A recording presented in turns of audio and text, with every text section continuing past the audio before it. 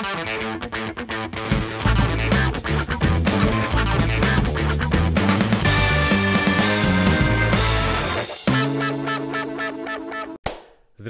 všetky hamburgerové deti.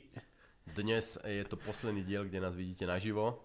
Od budúceho dielu prenechávame celý podcast umelej inteligencii.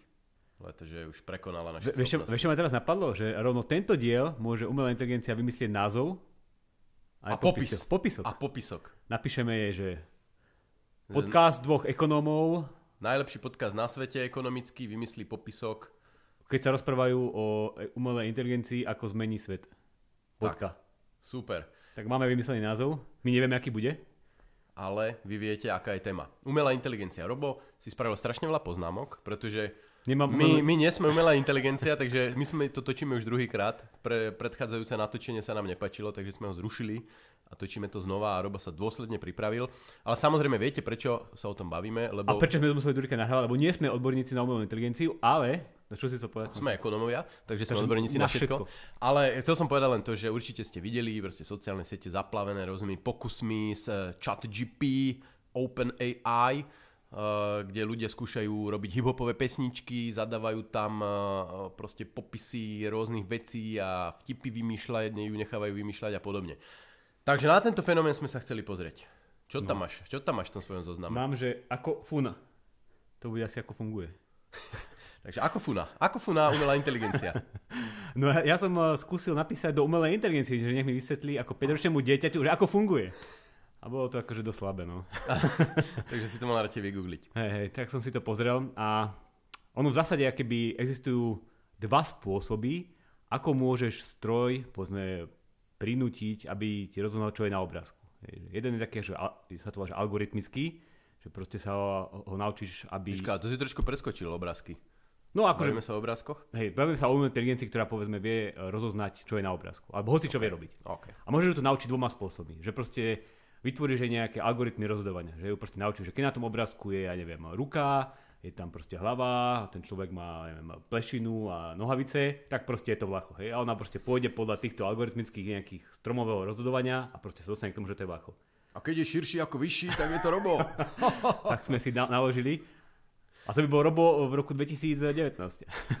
to by neplatilo. No a potom je druhý spôsob, a to sa práve využíva pri tej umelej inteligencii, že ukážeš 100 tisíc fotiek vlacha, niekto proste označí, že toto je vlacho, potom 100 tisíc fotiek, kde není vlacho a to niekto označí, že to není vlacho. A ona sa sama naučí, nevieme ako, nejak rozoznať tam paterny, nejaké vzorce toho, že čo je vlacho a ona potom, akože tie neurónové siete sa dokážu následne nejaký 100 tisíci prvý obrázok povedať, že toto je vlacho. Tak toto mu ja chápem. Sa No, ako, všelijako. ako, podľa mňa už zabiehame do, do detailov, v ktorých sa nevyznám, lebo ako neviem, či všetky umelé inteligencie sú v neurónových sieťach, to asi podľa mňa nie. No je to nejaký akože machine learning, že proste náhážeš tam milión dát. No hej, ale A to- dostáva nejaký ako, feedback. Ako vieme, ako funguje, akože neviem, prečo nevieme, ako No funguje. nie, Ale akože, ako sem ani že, nechoďme, že, sem že, ani ty nechoďme. nechápeš, že ty nechápeš, akože, že, že, aké tie paterny vôbec sa keby uh, naučila a že na základe čoho, to sa, Aha, na základe okej, čoho sa to okej, rozhoduje. akože na základe čoho rozhodujú. Hej, Okej, že, že ty nechápeš, že je ten vnútorný alg- algoritmus, že čo vlastne je ten uh, moment, že či je to tá tvoja uh, tie nohavice, alebo tá moja váha, a že nechápeme, že čím to vlastne je spôsobené a vlastne už tam nemáš tie explicitné algoritmy, ako som hovoril pri tom prvom rozhodovaní, že tam ju naučíme, že teda keď má splnená táto podmienka, tak je to takýto človek. Takže toto je akože veľmi uh, moje amatérske uh, chápanie toho, toho, že ako funguje tá umelá inteligencia a čím je iná. Že proste máme tie milióny dát. A to v zásade sa dostávame k tejto e, najnovšej umelej inteligencii, ktorá bola cvičená práve na uh, serveroch a cloudových službách Microsoftu, ktorý akože má veľké dáta, datové centra a jednoducho na všetkých tých dátach uh, sa dokázala vyučiť na to, aby nám dokázala odpovedať na rôzne otázky. Ale ja myslím, že podcastov, ktoré rozoberajú to, ako funguje umelá inteligencia, je oveľa viac, alebo je dosť od oveľa povolanejších ľudí, ako sme my.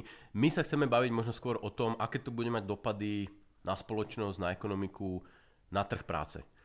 Uh, dúfam, že nepredbieham teraz tvoj scenár, ale v princípe mi ide o to, že uh, jedny z prvých reakcií boli, že ú, no tie obrázky, čo teraz budú robiť ilustrátori kníh a čo teraz budú robiť copywriteri a čo teraz budú robiť ľudia, ktorí... Analytici, ktorí píšu No, analytikov sa to samozrejme netýka, lebo to sú proste špičkové ana- analýzy. Ale nie, bez randy, zadali sme tam aj také, také pokusné, že napíš, uh, napíš p- európsky projekt na dekarbonizáciu oceliarského priemyslu a akože vyplulo to niečo, čo by sme Eurospeakom mohli nazvať za proste taký generický projekt. Takže ako nejaké, nejaké tieto mušky tam sú.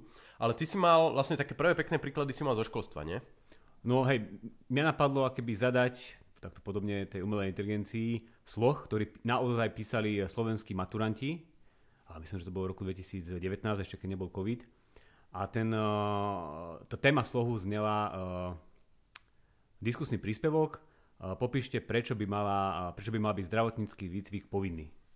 A to som akože zadal a som mi proste stanovil, že nech to má nejakých 2000 znakov, teda nech je to ten diskusný príspevok a nech uh, vygeneruje niečo. A vygenerovala pomerne akýby solidný text, podľa za ktorý by sa nemusel hambiť uh, nejaký 18-ročný uh, maturant. Boli tam dobre popísané nejaké argumenty, prečo by to bolo super, že proste ľudia by neumierali na ulici, ľudia by sa viacej starali o svoje zdravie a neviem čo. Potom, čo bolo zaujímavé, že povedala nejaké protiargumenty, že proste bolo by to drahé, že by to niekto musel robiť, že by to zaberalo veľa času a vymyslela akéby aj riešenie tohto protiargumentu, že ako by sa to dalo odstrániť, že by sa to zaviedlo na školách a že by sa to učili žiaci počas vyučovania. Teda, že by tam neboli tie náklady spojené s tým, že dospelí ľudia by museli niekde chodiť do nejakých, do nejakých tréningových centier. No a na, na, nakoniec to proste nejak zhrnula a proste napísala svoj názor. Teda inými slovami sa to podobalo na to zadanie a na ten sloh, ktorý môže dneska akby hociaký maturant vygenerovať. No tak e, OK, z toho vyplýva, že uh, písanie esejí hlavne doma, prípadne v tel- na, záchode pod lavicou alebo na záchode, ako uh, dostaneš na, značné steroidy. A... Ale vyplýva z toho niečo aj pre prácu, ako pre ohrozenie práce učiteľov, okrem toho, že budú musieť vymyslieť niečo iné ako eseje? No podľa mňa akože v prvom rade je akože pomerne bizarná tá predstava, že uh, 30 žiakov za 6 sekúnd každý vygeneruje nejaký sloh a potom to ten učiteľ niekoľko hodín doma opravuje a v zásade akože číta si iba texty nejakej umelej inteligencii. Takže toto je také prvé uh, ohrozenie nejakej integrity tých učiteľov. Ale ja, som sa, ja som sa zamýšľal nad tým, že ako by to mohli, ako by mohli túto umelú, inteligenciu učiteľia využiť práve na vyučovanie. Hej? Že by sa k tomu nepostavili ako ja neviem, ku kalkulačke, keď si pamätáme všetci, keď sme chodili na základnú školu, tak nám hovorili učiteľia, že nepoužívajte kalkulačku, lebo keď budete dospelí, nebudete za sebou môcť stále mať a dneska všetci vo máme kalkulačku. Ale ono zase tá umelá inteligencia je taká kalkulačka na slova.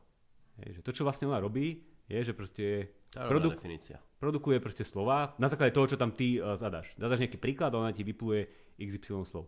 No ale uh, tá kalkulačka nefunguje úplne dokonale. Hej. Že to sme tu vlastne nepovedali, že ona častokrát robí chyby, robí faktické chyby a, a tvári sa veľmi sebavedomo, že proste ona ti tam napíše úplne uh, niekedy dva odstavce pravdivé a potom odrazu sa pomýli v také veci, ja neviem, že keď píše o nejakom filozofovi, že úplne pomýli uh, jeho filozofiu a povie naopak.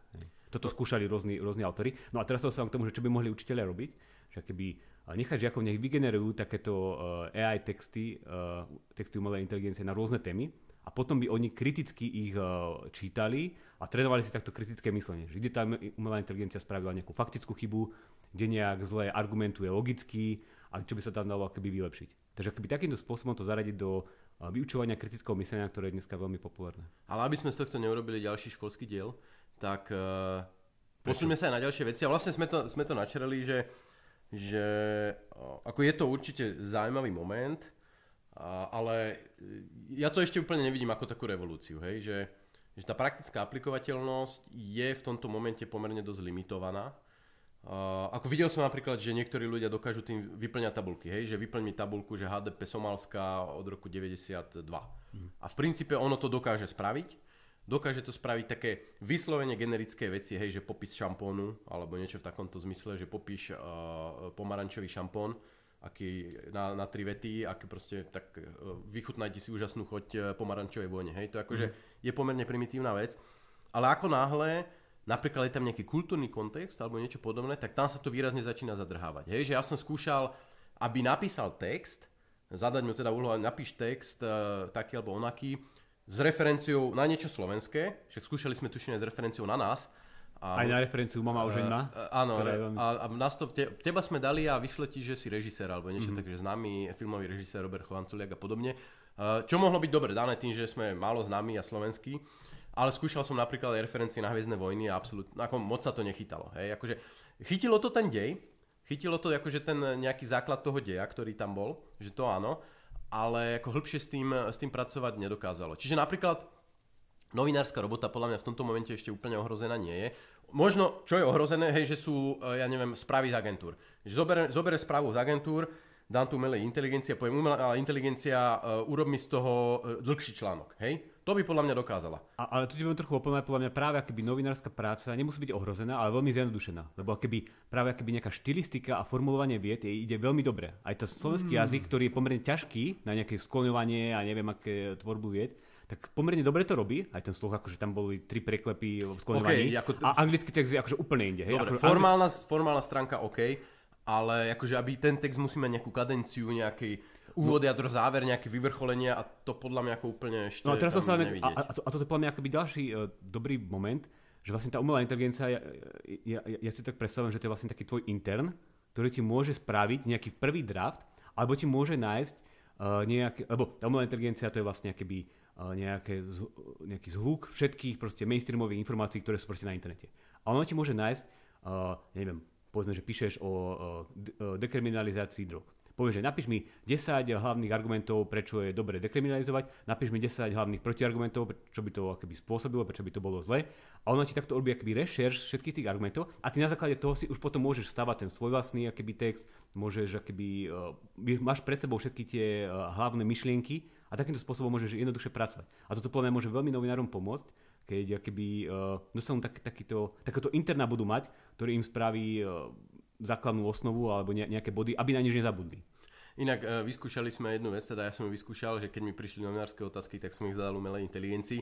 A ešte nebola to úplne, odpoveď úplne taká, aby som ju mohol vydávať za moju odpoveď, takže musel som ich napísať sám. Ale hovorím, to je furt slovenčina, ako poviem, v angličtine funguje oveľa lepšie. A ešte, áno. A ešte nám poslednú myšlienku, čo ma napadlo s tým internom, že ono to môže byť taký dobrý spôsob uh, brainstormingu, keď si sám.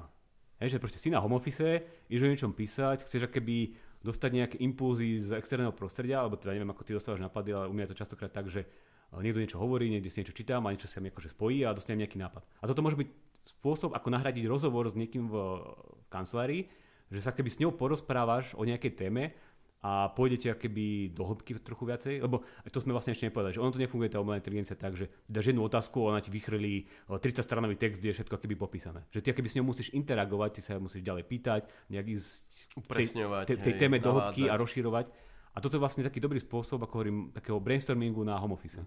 To je, to je dobrá poznámka. No ja, ale ja som zachytil úplne iný prípad, ktorý je tiež podľa mňa zaujímavý, že nejaký týpek v Amerike má nejaké, neviem, nejaké ako služby zakladania biznisov alebo niečo také a že mal proste klienta, čo, bol, čo si založil, že landscaping business, to znamená záhradník preloženie.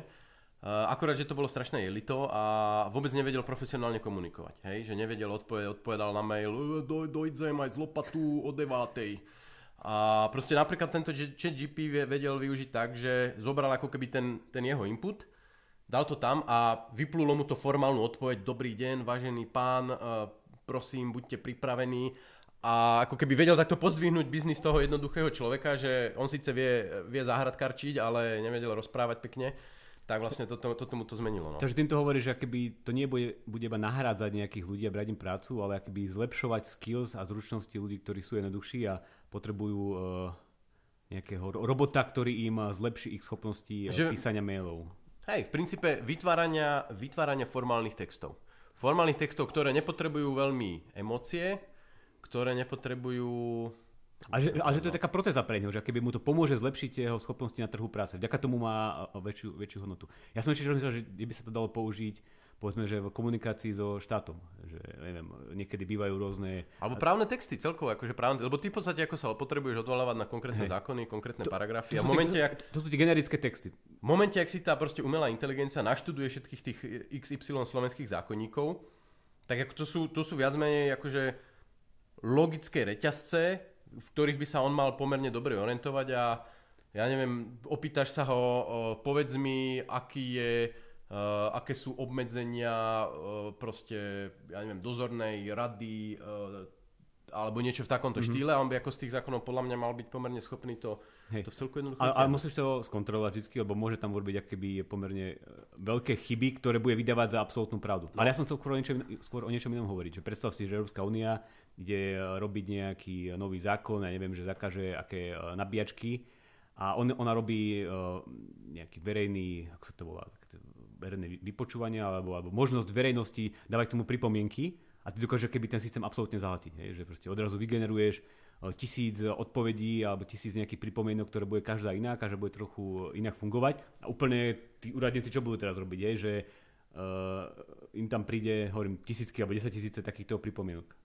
No, a vlastne, že by ako si úradníci zahltil. použili umelú inteligenciu. Či ty by si použil umelú inteligenciu? Áno, aby si zahltil, aby oni... Ale to môžu oni otočiť. Oni, oni môžu použiť umelú inteligenciu na to, aby odpovedali na tie na tie do, ako keby pripomienky. Vidíš? No a to, to môže byť také vojny umelých inteligencií. Ale, ale, ale, je to proste ešte ako keby demokracia, keď ty niečo napíšeš a odpoveď ti nie je akože politik alebo nejaký úradník, ktorý má zodpovednosť, ale nejaká iná umelá inteligencia, vieš, že to už je také... Ideme sa tu baviť o demokracii. Nie, nie, akože myslím, myslím, tak, nie, akože myslím to v tom zmysle, že Akoby, že ty sa spoliehaš, že niekto si ten tvoj komentár prečíta, nejaký reálny človek a zhodnotí, že a toto dáva zmysel, tak použijeme to a zmeníme ten zákon. Kvôli tomu sa to robí. Hej? Ale tak akože keď to není tvoj komentár, je to komentár umelej inteligencie. Ale to nikto nevie. Je... A to je tá pointa, že to by A nikto nevie ani tú odpoveď. Takže keď sa dve umelé inteligencie budú navzájom rozprávať, tak vlastne ani jedna strana nevie, že tam tá druhá strana je umelá inteligencia ako... a nejakým spôsobom to, to dopadne. Ale ja, ja som uh, si teraz pripravoval taký, taký komentárik vlastne a hľadal som nejaké také dôvody, že, že čo môžu byť prekažky na využitie tohto ako v nejakom biznise e, vo väčšej miere. A jedna vec je napríklad sú spomínané ako keby emócie a také tie, tie opičie tance, ja to volám, že proste aj v biznise je veľa, veľa, že jak si sadnú tí ľudia a proste gestá, vieš, ako keby tá vzájomná chémia aj pri tých veľkých vyjednávaniach, že to proste nikdy nevieš preniesť do tej umelej inteligencie. To je jedna vec. Ale druhá vec, to už sme tu... To, to, je také, že to sú nejaké paterny, ktoré sa keby tak opakujú a že ako teraz myslíš, že vo fyzickom svete, či v nejakých textoch?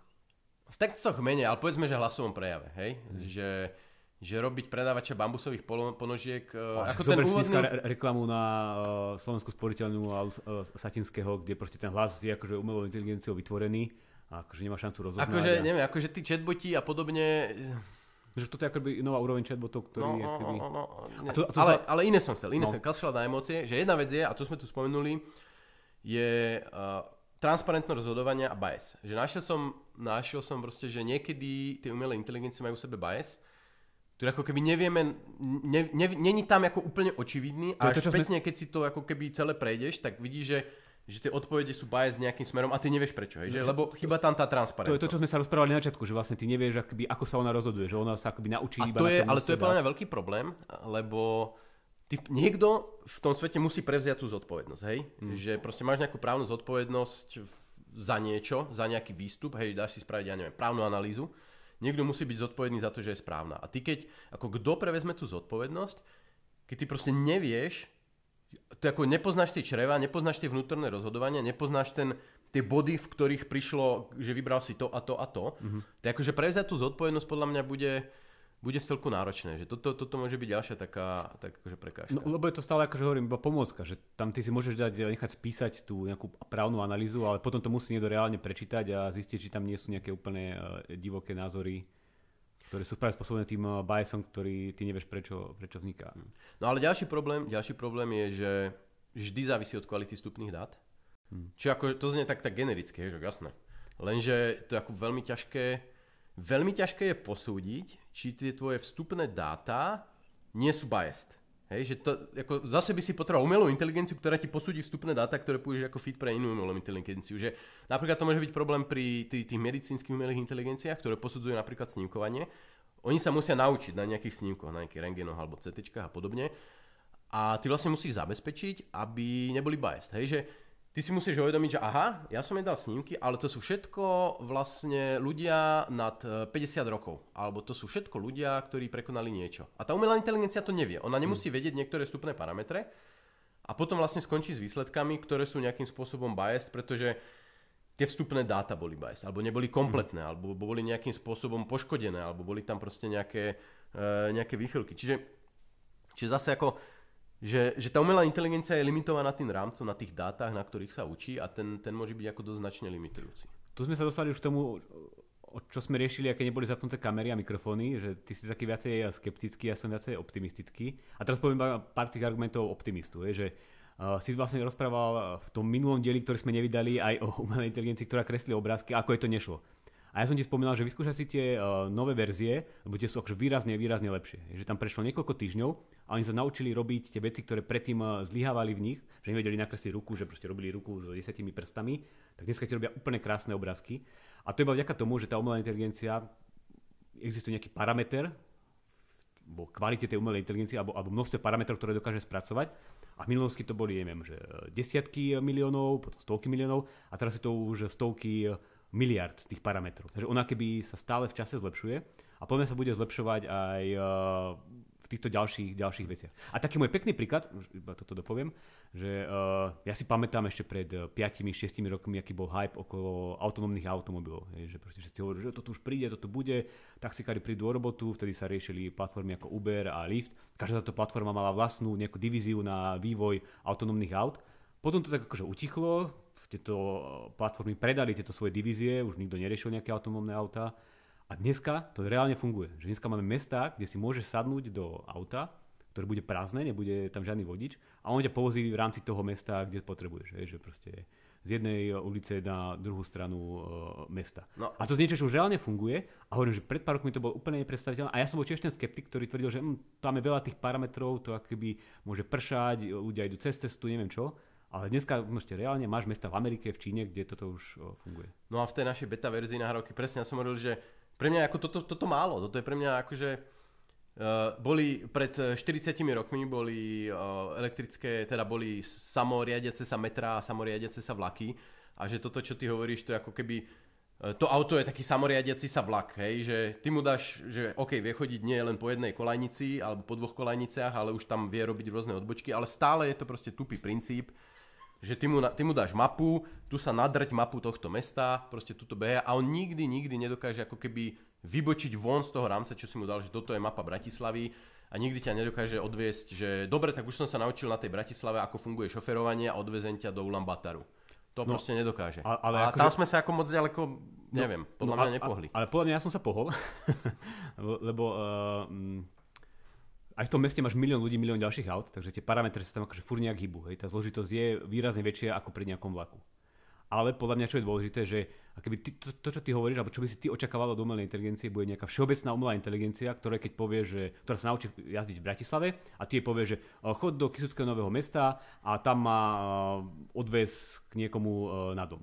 A to samozrejme, že by nedokázala tá dnešná umelá inteligencia, lebo ona je špecifická iba na to mesto, ale to je podľa mňa jedno, lebo Uh, ty keď sa odvezieš v tom meste, v prázdnom aute, tak teba nezaujíma, že či dokáže dojsť aj do Kizuckého nového mesta, lebo tebe stačí, že proste tu mám reálne auto, ktoré nemá vodiča a dokáže ma bezpečne voziť po tom uh, meste. A, a že to inými slovami, že mi to príde také akože bizarné, to keby ty si očakával, že uh, teda vymysleli sme nejakých robotov, ktorí dokážu, ja neviem, operovať, dokážu zvárať, dokážu ťažiť ropu do zeme a teraz hovorí, že proste nemáme nejakého robota, ktorý by dokázal toto všetko robiť a nebol by taký všeobecný, že by to bola taká vlastne ľudská ruka, ktorá má super svaly a dokáže robiť všetky tieto, tieto veci.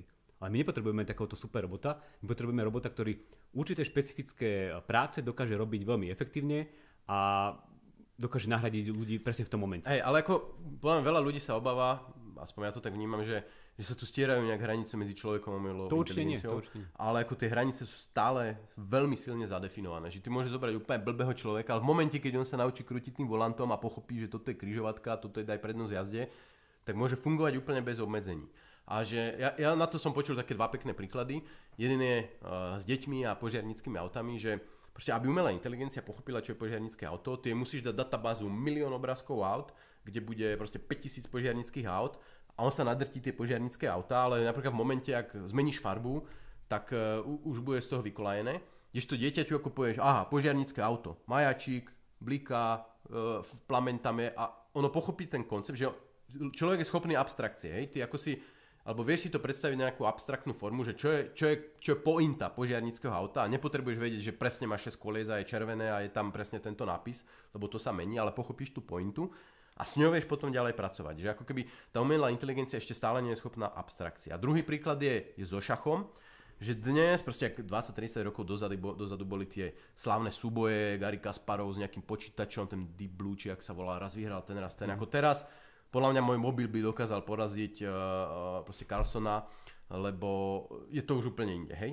Ale v momente, ako ty by si zmenil trošku pravidla šachu, že napríklad by si nebola by 8x8 šachovnica, ale 10x10, alebo miesto e, koní by si tam dal dvoch strelcov, alebo niečo také, tak ako ten normálny šachista ľudský by sa dokázal veľmi rýchlo adaptovať, dokázal by fungovať aj na tej novej šachovnici na základe tých pravidel, kdežto ako tá umelá inteligencia by bola z toho dosť vykolajná, že jej svet by sa úplne zmenil, lebo ona proste vedela fungovať vo svete 8x8 a zrazu je svet 10x10 a to je úplne nový svet. A úplne od začiatku by sa to musela celé naučiť, kdežto šachista by automaticky pokračoval. Ale to sú podľa mňa akoby zlé očakávania, že uh, ja neviem teda, či niekto verí tomu, že dokážeme na hardisku vypestovať nejakú umelú inteligenciu, ktorá bude taká tá všeobecná, že dokáže... Podľa mňa verí. Podľa, to podľa mňa, a podľa mňa títo ľudia nemajú pravdu, ale podľa mňa to vôbec nepotrebujeme na to, aby tá umelá inteligencia výrazne zmenila svet. Lebo ja si viem predstaviť, že, že budú vznikať nejaké modulárne umelé inteligencie. Že proste, neviem, budeš mať umelú inteligenciu na rozoznávanie uh, hovoreného slova,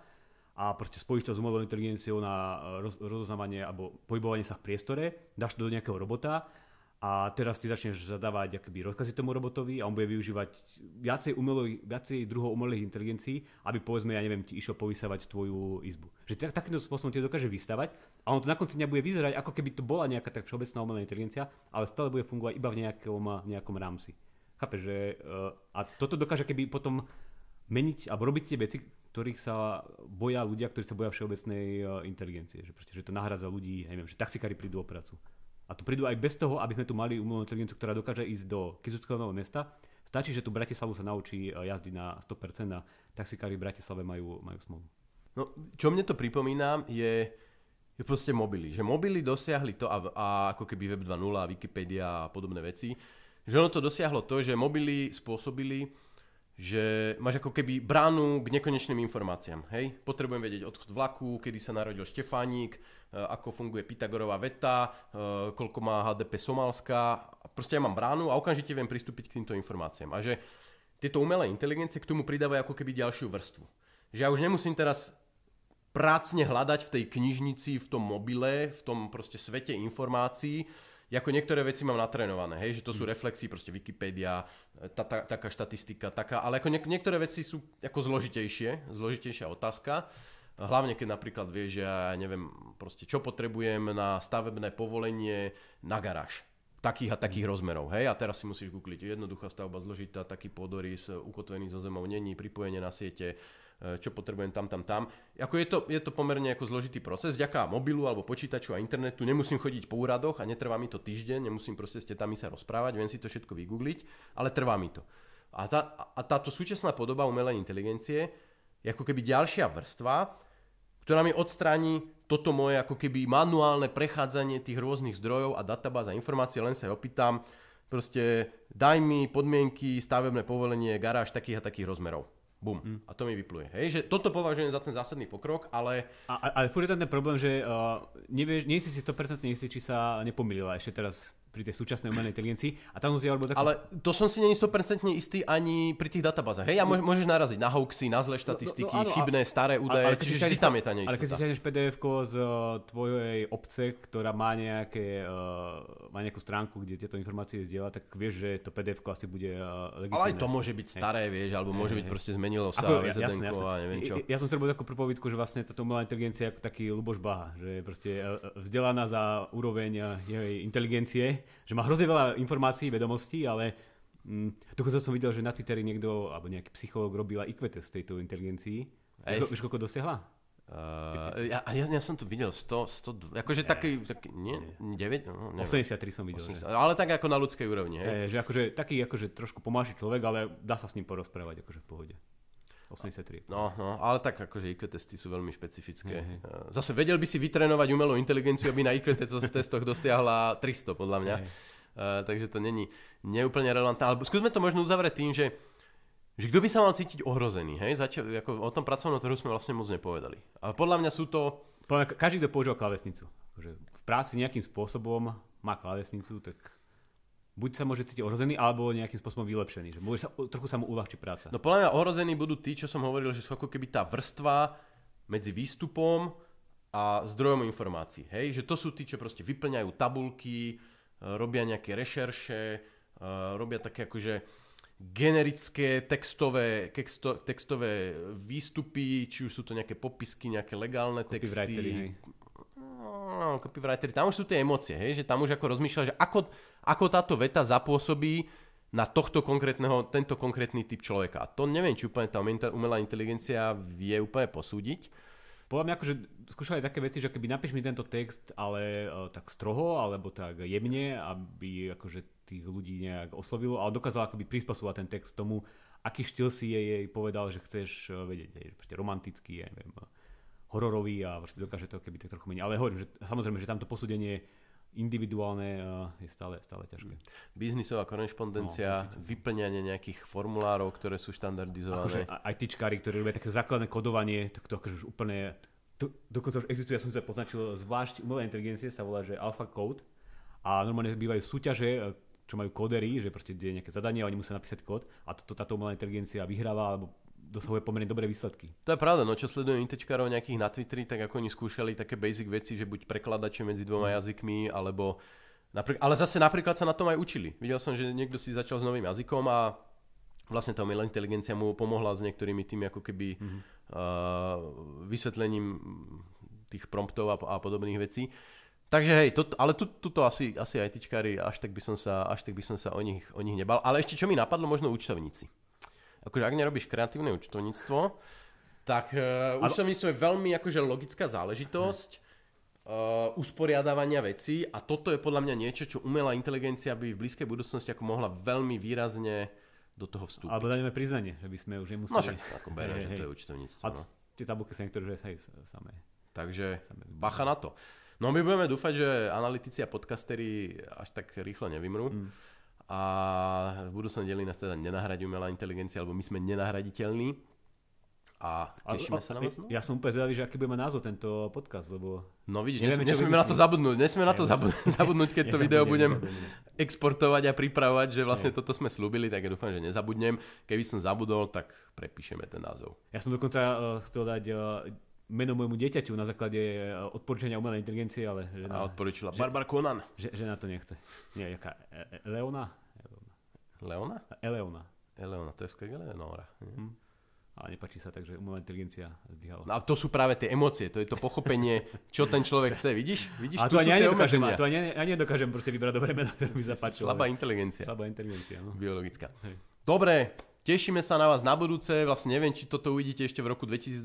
Ja dúfam, že máme tých nahratých podcastov. Máme ich nahratých, jak Windy bohov, takže... Tešte sa. Takže každopádne budeme vás držať zasubovaných. Vidíme sa v roku 2023.